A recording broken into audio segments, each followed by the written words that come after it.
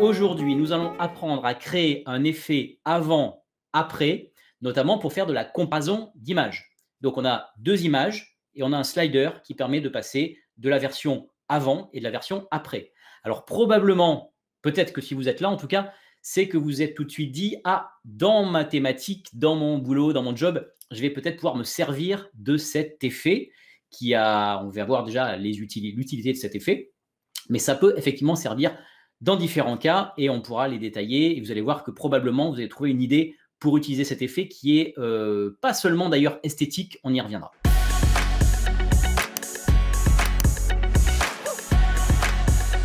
Je m'appelle Pierre-Olivier Lair, je dirige un organisme de formation et studio de création web. J'enseigne WordPress à l'Université Paris-Sorbonne et à la Digital School of Paris et j'aide les thérapeutes et les coachs à être davantage visibles pour vivre sereinement de leur activité. Ça, c'est mon job. Et bien sûr, comme j'aime à le répéter à chaque fois, on met en place un site internet WordPress performant, sécurisé, moderne, qui a toutes les qualités pour, euh, bah, donner de bonnes fondations tout simplement à notre travail et à, la possibilité de nous rendre visibles sur Internet, puisque, vous le savez, c'est aujourd'hui la grande difficulté, c'est comment être visible et comment sortir du lot parmi, euh, je ne parle même pas des concurrents d'ailleurs, je parle de, la, globalement d'ailleurs, pour donner de l'attention, pour que quelqu'un nous donne l'attention sur Internet. À quoi sert la comparaison d'images? Pourquoi faire? Eh bien, en général, c'est pour mettre en évidence des différences entre deux images, pour faire ressortir la situation avant et après. Nombreuses applications, j'en ai cité quelques-unes, mais vous pouvez aller, euh, bah voilà, c'est votre imagination qui va vous donner euh, toutes les, possibilités et, les nombreuses applications et les, que vous pourrez trouver. J'ai nommé la santé, par exemple, avant et après le rééquilibrage alimentaire. Quelqu'un hein, qui a un petit peu d'embonpoint et qui, après le rééquilibrage, va être euh, svelte et sportif. La beauté, avant et après un maquillage ou après un Photoshop c'est ce qu'on verra tout à l'heure. L'immobilier, avant et après les travaux, ça, ça peut être vraiment intéressant. Vous faites une photo avant les travaux, une photo après, et avec un petit curseur, un petit slider, vous allez pouvoir montrer eh bien les, résultats de, l'avant et l'après. Donc ça, c'est très très intéressant. Le coaching, avant et après un accompagnement, pourquoi pas, si vous pouvez illustrer les, résultats d'un coaching. Euh, le fitness, bien sûr, avant et après un programme de muscu. Le gars tout fait au début, et puis après, euh, ça y est, il est baraqué, il a du muscle. Et l'environnement, ça c'était la petite touche d'humour. Début 2021, on est sensible tous à l'écologie et à l'environnement. En tout cas, si on ne l'est pas, il va falloir l'être de plus en plus. Et eh bien, on peut très bien dire avant et après le passage de l'homme. On peut prendre, je ne sais pas moi, la forêt d'Amazonie, avoir une vue euh, satellite par exemple, euh, avant la déforestation et puis euh, après la déforestation. Ça peut être un, exemple que j'aurais pu prendre aussi pour illustrer ce rendez-vous WordPress ce soir. Mais il y a quelque chose qui est très important de mentionner, c'est que ça va ajouter de l'interactivité sur votre site. Alors pourquoi ajouter de l'interactivité, on va dire? Eh bien, il y a plusieurs raisons à ça. La première, c'est que ça va donner un engagement supplémentaire à la personne. Elle arrive sur une page de votre site. Si jamais elle a une action à faire on sait qu'une action, c'est de l'engagement. Elle va passer du temps sur votre site pour faire quelque chose. Si on l'engage à remplir un formulaire de contact, par exemple, eh bien, elle va prendre de son temps. Elle va donc trouver un intérêt, un bénéfice pour elle pour remplir ce formulaire. Peut-être pour vous contacter, pour vous poser une question. Eh bien, c'est pareil. Pour la comparaison d'images, si la personne se dit, tiens, je vais prendre quelques secondes pour voir la version avant et après, eh bien, avec sa souris, elle va faire une action, elle va s'engager sur votre site, sur votre page, la page de votre site. Donc ça, c'est très intéressant parce que non seulement ça veut dire que bah, c'est pas qu'elle a du temps à perdre, mais c'est qu'elle est intéressée par votre euh, page. Voilà, elle se dit tiens, je vais, regarder, euh, je vais regarder un petit peu plus loin de ce qui m'est proposé.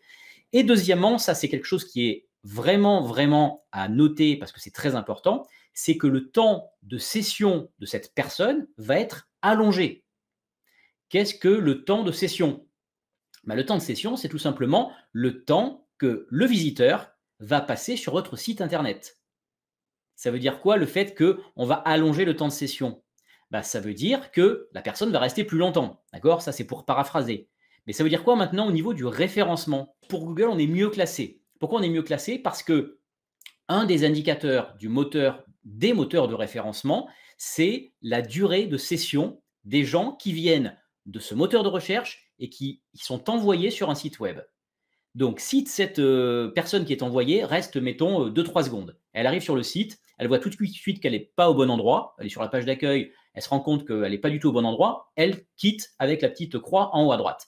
Qu'est-ce qui se passe? Bah, Très mauvais indicateur pour Google ou pour un autre moteur de recherche, puisqu'on lui dit, j'ai envoyé une personne depuis le moteur de recherche sur un site, et cette personne, elle revient tout de suite, elle s'en va.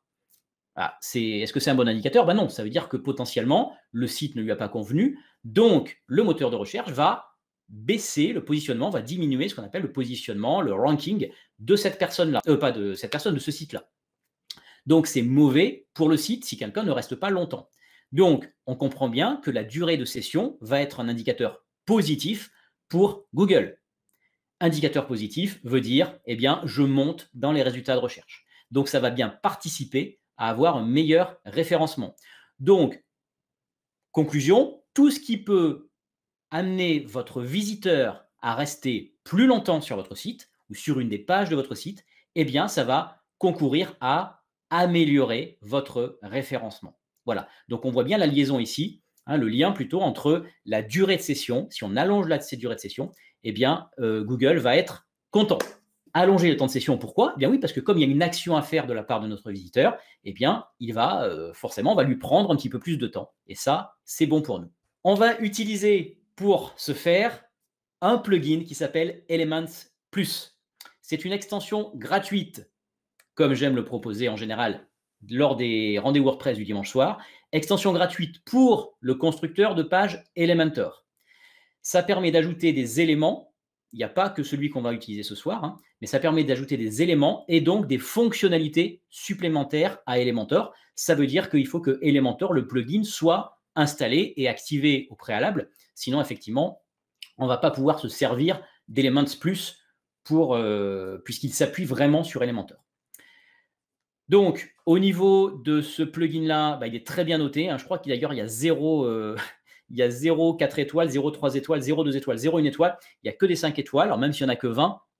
En tout cas, que des bonnes notes. Alors, petit aparté, vous allez voir qu'il n'est pas compatible, enfin, il est marqué qu'il n'est pas encore vraiment compatible avec la version de WordPress parce que peut-être que vous l'avez vu au mois de décembre, WordPress est passé à une nouvelle version majeure, la 5.6 il me semble.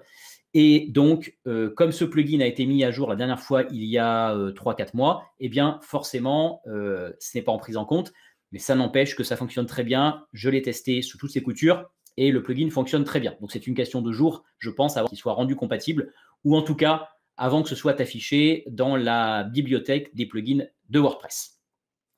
Donc, nous allons utiliser ce plugin et on va voir la simplicité surtout d'utilisation. C'est vraiment ça qu'il faut noter ce soir, c'est que ce plugin est très facile à configurer. Il n'y a d'ailleurs quasiment pas de configuration. On va le poser à l'endroit où on souhaite sur notre site et ensuite on va pouvoir tout de suite le configurer avec image source, image destination, donc le avant et le après, et c'est terminé.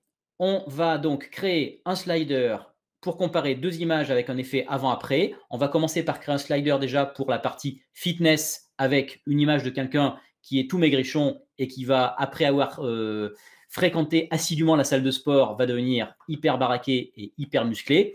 Et on va faire un autre slider juste après, un petit peu différent, vous allez voir, avec euh, un effet avant-après euh, pour un accompagnement, un coaching. La personne arrive dans un certain état et elle repart dans un autre état regardez ce qui se passe.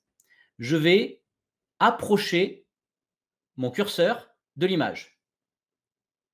Et vous voyez qu'ici, je n'ai pas besoin de cliquer. En fait, c'est comme si mon, curseur était aimanté à la barre de défilement en bas.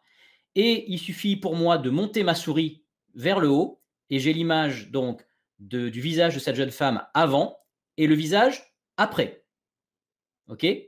Après maquillage, avant maquillage ou avant Photoshop et après Photoshop. Et pour ça, regardez, j'ai juste à, voilà, je peux avoir même euh, être un petit peu sur le côté. J'ai tout simplement le, en fait, c'est comme si c'était aimanté. Hein. Vraiment, je monte ma souris et la barre, elle reste accrochée. J'ai pas besoin de cliquer en fait sur un des boutons. Voilà, c'est ça qu'il faut voir. Donc ici, je monte, je descends et j'ai l'image avant et l'image après. Voilà le principe. Un autre exemple de slider avant-après, ici, on a tout simplement les effets du confinement, je l'ai appelé comme ça, avec un jeune homme avant le confinement. Et là, par contre, si jamais je bouge, eh bien, on voit que mon, ma séparation ici, eh bien, elle n'est pas accrochée, ce n'est pas magnétique. J'ai marqué avant, après, mais je dois cliquer sur la barre de séparation pour le faire ici bouger. D'accord? Avant le confinement, après le confinement. Bon, il a un petit peu abusé sur les bonbons. Hein. Voilà. Donc là, on a une barre cette fois-ci horizontale, alors que tout à l'heure, on avait une barre, vous avez vu, verticale. Donc là, on a une barre verticale avec un effet magnétique, c'est-à-dire que mon curseur est vraiment accroché à la barre. Et ici, en revanche, on a un, c'est horizontal et il n'y a pas l'effet magnétique, c'est-à-dire que c'est moi qui dois cliquer ici sur les deux petits, la petite barre et je peux ensuite bouger comme je veux avant, après. On va en faire deux autres ensemble. On va en faire un, donc comme j'ai dit, qui s'appelait fitness avec un bonhomme avant et après. Et on va faire un qui s'appelle bénéfice du coaching avec un effet avant, après. Pour ça, on va passer en mode modification avec Elementor. Avant, je vous montre juste ici. Hein. Ici, vous allez voir la partie tableau de bord de mon site de démo. Et vous allez voir la partie extension. Dans cette partie extension, on va avoir notre plugin ici qui s'appelle Elements Plus, qui est bien activé, qui est bien installé et qui est bien activé puisqu'il y a la barre à côté et on peut le désactiver ici. D'accord? Donc ça, c'est le préalable, bien sûr. Vous installez d'abord Elementor, ça c'est obligatoire. Hein. On ne peut installer, enfin on ne peut utiliser Elements Plus que si on a Elementor d'installer.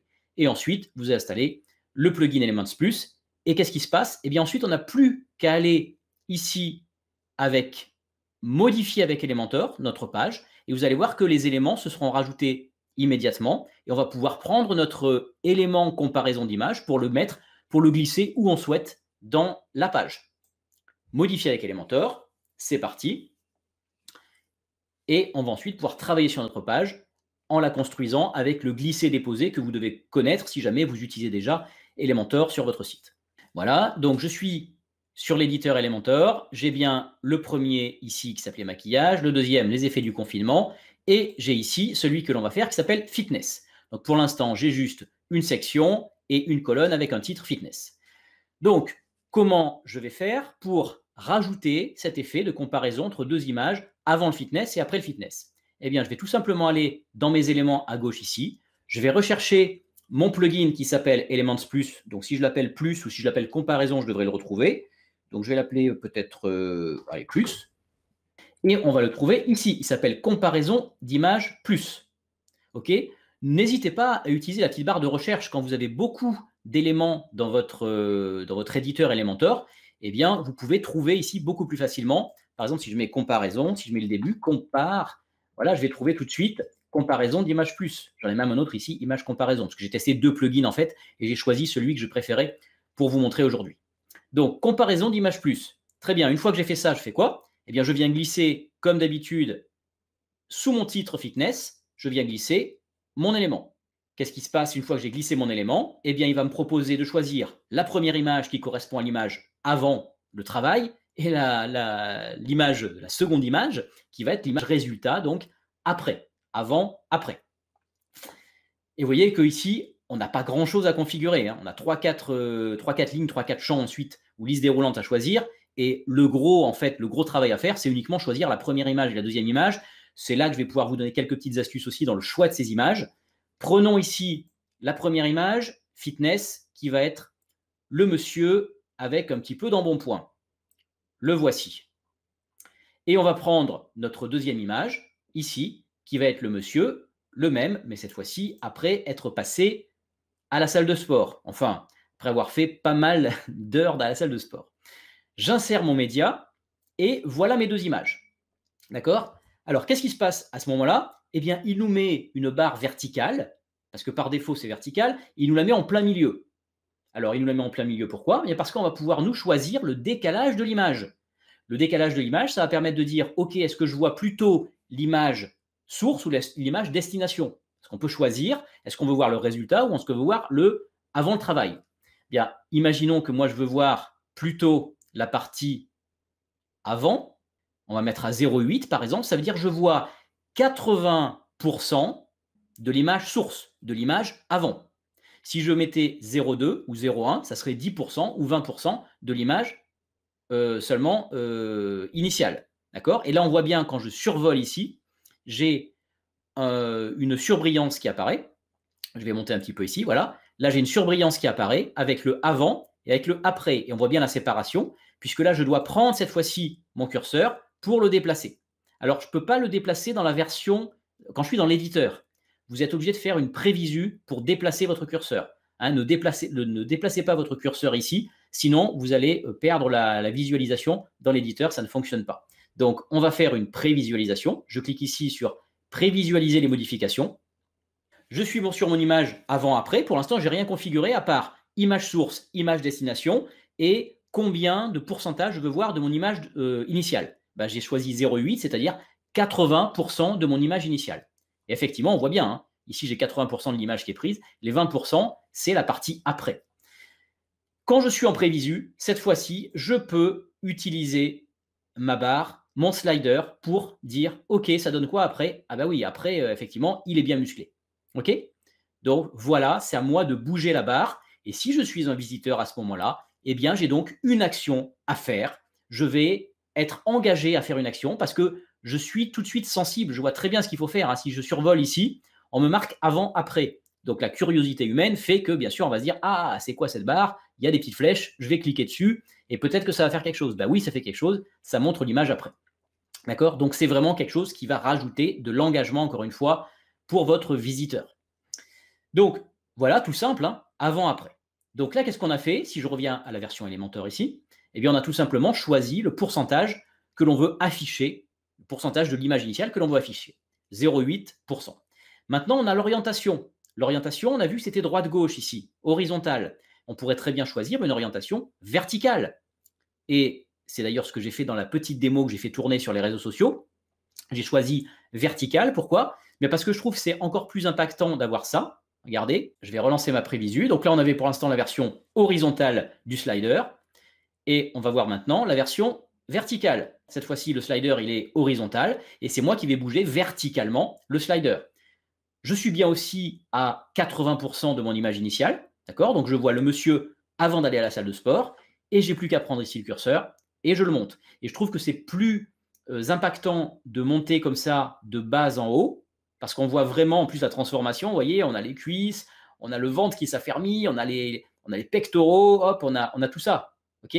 Alors que de droite à gauche, ben, on va découvrir un biceps avant de voir la, suite. Donc je trouve que c'est un peu moins, euh, le résultat est un peu moins convaincant, alors que là, on a vraiment la possibilité, vous voyez, de monter tout doucement et de voir la transformation du bonhomme. Donc ici, on peut considérer que la version euh, avant-après, il vaut mieux la faire avec un slider euh, vertical. Voilà. Ça fonctionne aussi dans l'autre sens, bien sûr, mais ça marche, euh, enfin, c'est plus convaincant, on va dire, ici. Alors, vous avez vu qu'ici, quand je survole, on a quelque chose qui s'affiche avant, après. Ça, on n'est pas obligé de l'avoir. Et pour ne pas l'avoir, on va tout simplement dire ici, est-ce que je veux afficher, donc c'est à gauche ici, hein, est-ce que je veux afficher un libellé avant et après? Bah, si oui, je peux marquer ce que je veux ici. Je peux très bien mettre avant la muscu et après la muscu. Hein, je mets le texte vraiment que je veux voir apparaître. Et ce texte, il va apparaître où? Il va apparaître quand je survole avec ma souris. Voilà, quand je survole avec, la souris, on voit bien marqué avant la muscu ici et après la muscu. Et la superposition, ça veut dire quoi? Bah, C'est justement cet effet-là, d'avoir une superposition, un petit peu un voile opaque gris, qui va nous superposer le label, le libellé, avant et après. Si je ne veux pas l'afficher, tout simplement dans superposition, ici je dis masquer. Et si je fais masquer, eh bien, vous imaginez tout de suite le résultat, c'est que je survole et je n'ai plus cet effet grisé avant-après. C'est à moi maintenant de comprendre que, ah pardon, voilà, j'ai fait la petite erreur que je vous ai dit de ne pas faire. Hein. J'ai touché dans la version éditeur Elementor, j'ai touché mon slider et donc ici je perds la visualisation. Donc je vais remettre ça à jour, voilà, et je vais revenir dans euh, ma partie ici, euh. Vous voyez, donc ça, c'est ce qui est un petit peu dommage, c'est que je ne peux pas faire utiliser le slider dans la version euh, éditeur. Voilà. C'est pour ça que je fais la prévisu ici. Et donc, cette fois-ci, regardez, je n'ai plus, dans la partie prévisualisation, hein, je n'ai plus l'affichage avec le petit voile opaque gris. Par contre, j'ai quand même l'infobulle. Alors, je ne sais pas si vous l'avez, l'avez peut-être pas à l'écran, hein, dans, la, dans, dans la partie webinaire, vous ne l'avez pas, mais quand je survole ici, il y a marqué avant fitness. Il y a une petite infobulle qui s'affiche. que l'on ne voit pas à l'écran. Et je peux bien sûr faire comme tout à l'heure, avant, après, sans problème. La seule différence, encore une fois, c'est le masque que je n'ai plus. Donc, ici, on a euh, choisi l'orientation verticale, on a choisi de, de, ne pas afficher, donc de masquer la superposition avec avant-après. Qu'est-ce qu'il nous reste ici à faire? Eh bien, on pourrait très bien aussi déplacer le diaporama au survol. Ça, ça veut dire quoi? Ça veut dire que ça va faire exactement ce qu'on a ici. Regardez ce qu'on a ici, au survol. Donc, je n'ai pas besoin de cliquer sur la barre de séparation, la barre de mon, de mon slider ici. C'est tout simplement en survolant l'image que automatiquement la barre va suivre le déplacement de ma souris. Voilà une autre possibilité d'utiliser notre euh, plugin, c'est de dire je veux déplacer le diaporama au survol. Eh bien, si je fais ça, il va me cocher la case ici. Je vais revenir en prévisualisation et regardez ce qui se passe. Alors du coup, je n'ai pas besoin euh, d'ailleurs d'aller en prévisualisation quand je suis avec le déplacement, euh, donc ce qu'ils appellent le, déplacement au survol. Parce que quand c'est au survol, vous voyez, comme je n'ai pas besoin de cliquer dans mon image, je peux rester sur la version euh, éditeur Elementor. Voilà, là, je n'ai pas besoin de, voir la, de faire la prévisu parce que je ne clique pas dans l'image. Si jamais je dois cliquer dans l'image, donc si je n'ai pas cet effet de diaporama au survol, eh bien là, je suis obligé de passer ici en prévisualisation. Regardez ce qui se passe, ça marche pareil. Voilà, vous savez donc bah, créer une image une image avant, une image après. Vous savez la positionner avec le pourcentage que vous voulez voir de l'image initiale. Donc 20% si vous voulez vous dévoiler un tout petit peu, ou 10% ou 0. Hein. Je ne sais pas si on peut faire 0. Euh, je crois qu'on peut faire 0. Mais mettons 10% par exemple, pour qu'on voit quand même qu'il y a un petit slider qu'on peut prendre, qu'on peut récupérer, qu'on peut tirer vers le haut. Et après, eh bien, on peut dire, une fois qu'on veut voir l'image finale, on peut choisir soit d'avoir à cliquer directement sur le slider, soit d'avoir juste à survoler notre image, peu importe c'est regarder les options supplémentaires ici, déplacer le diaporama au survol, c'est ce qu'on vient de voir, et on a aussi déplacé le diaporama en cliquant n'importe où.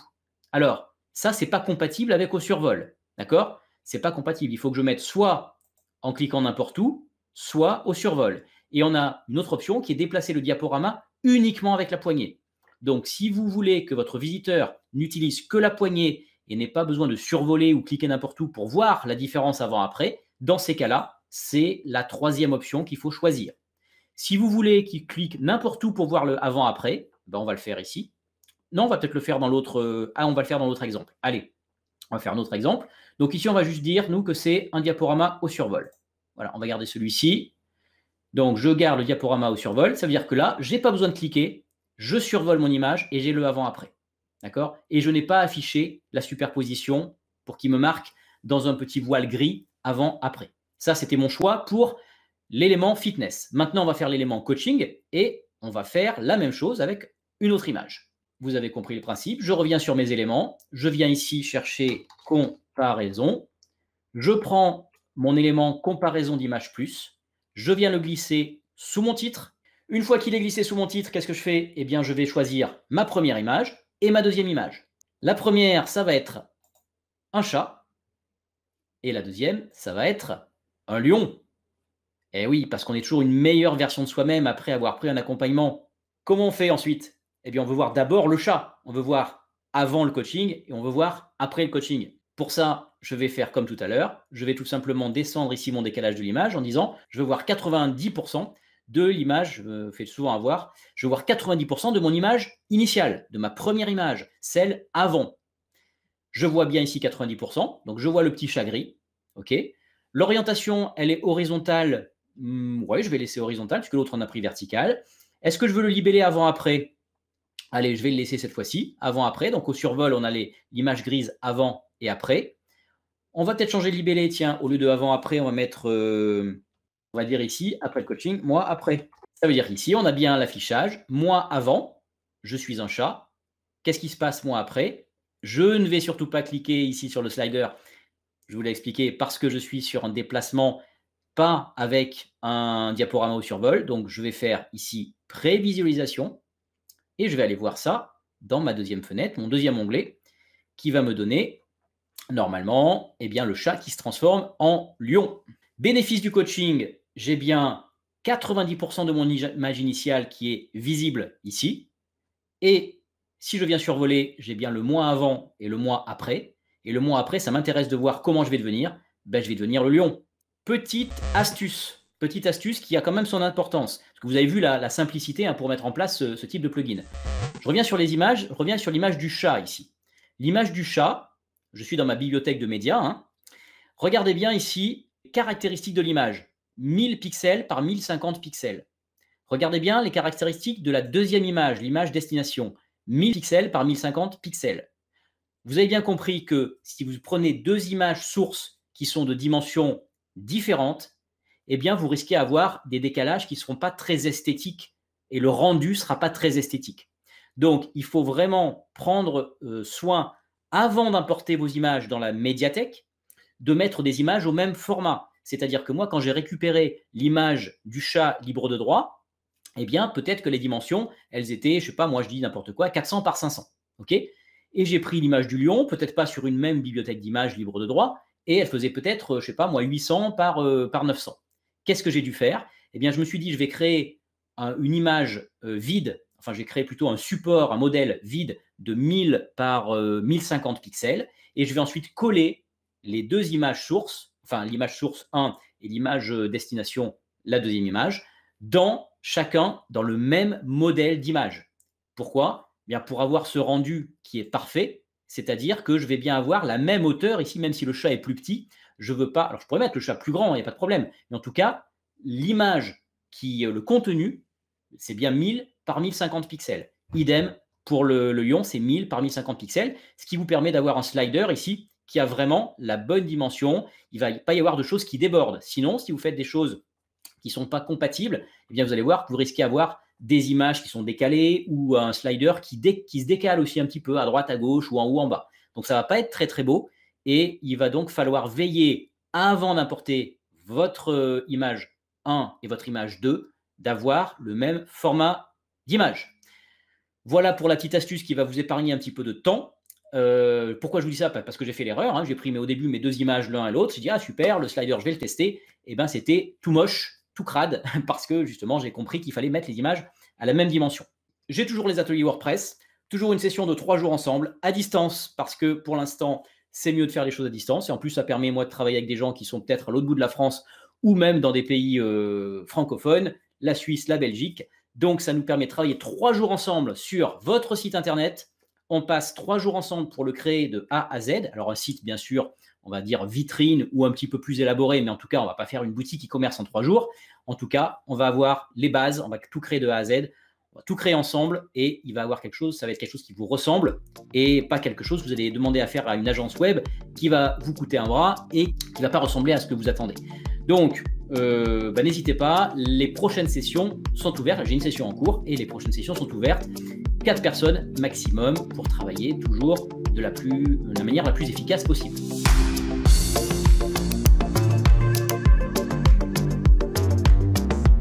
Je vous remercie pour votre attention. Encore à toutes et à tous une excellente année 2021. Et on se donne rendez-vous le dimanche 24 janvier pour le prochain rendez-vous WordPress qui sera le numéro 49. Voilà, bonne soirée à tous. À bientôt les amis. Ciao, ciao.